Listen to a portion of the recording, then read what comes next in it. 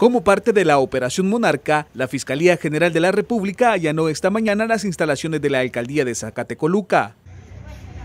El operativo tenía como objetivo recabar información que comprobara los delitos de los que son señalados el jefe edilicio Francisco Salvador Iresi, quien fue detenido la madrugada de este mismo lunes 26 de abril junto a otros miembros de su consejo.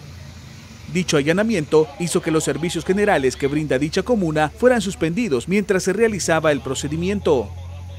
Por su parte, la Policía Nacional Civil informó que se realizaron 14 órdenes de allanamiento y 18 órdenes de captura administrativa giradas por la FGR tras nueve meses de investigación. Este es un informe para la.